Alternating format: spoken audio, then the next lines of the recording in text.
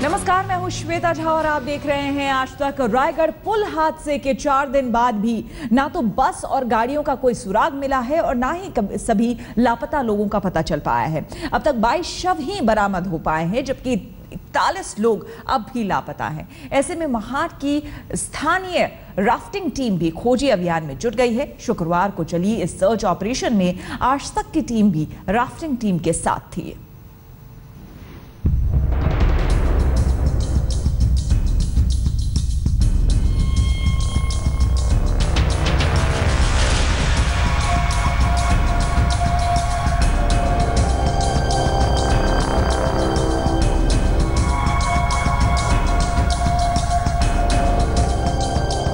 तलाशी अभियान का चौथा दिन।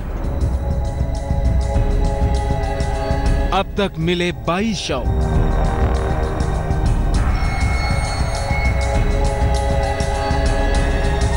इकतालीस की तलाश भी जारी।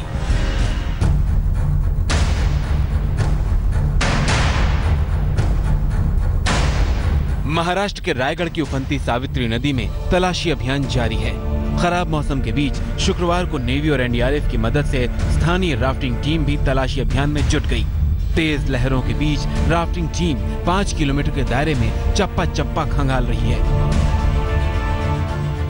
बचाव और राहत कार्य का आज तीसरा दिन है। यहाँ माड़ में सावित्री नदी आप देख रहे हैं कि उफान पर है। लगातार बारिश हो रही है। मुश्किलें बहुत हैं। एनडीआरएफ, कोस्ट गार्ड और नेवी के मरीन कमांडोज और सबसे बड़ी बात है कि जो स्थानिक लोग हैं, वो जुटे हुए हैं इन सब एजेंसियों को मदद करने के लिए। स्थानीय राफ्टिंग टीम पूरे साजो सामान से लैस थी। उसके पास खोजी यंत्र के तौर पर चुंबक से लेकर सोनोग्राफी मशीन और फ़िश फाइंडिंग मशीन भी थी। जो स्थानिक लोग हैं, वो सामने आए हैं, जो लोकल के जो राफ्टिंग यूनिट्स है, वो सामने आए और अभी हमें जो दिखाई दे रहा है कि ये जो एक सोनोग्राफी का जो इक्विपमेंट है, वो इस राफ्ट को लगाकर वो छानबीन कर रहे हैं, खोजने की कोशिश कर रहे हैं कि नीचे पानी में कहीं पर 40 फीट है, कहीं पर 20 फीट है, वहाँ पर कोई मेटल ऑब्जेक्ट यानी बस या कोई कार है या नहीं। हादसे के बाद से सावित्री नदी का पानी और बढ़ गया है।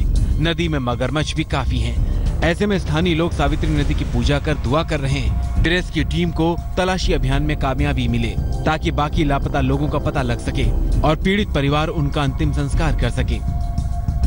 रायगढ़ में अंग्रेज़ों के जमाने के पुल के ढहने से अब तक लापता 22 लोगों को ही निकाला जा सका है। इकतालीस की तलाश अब भी जारी है। तीन दिन बाद भी रेस्क्यू टीम को बस और गाड़ियों का कोई सुराग नहीं मिल पाया है। पंकज खेलकर महाड, रायगढ़, आज तक।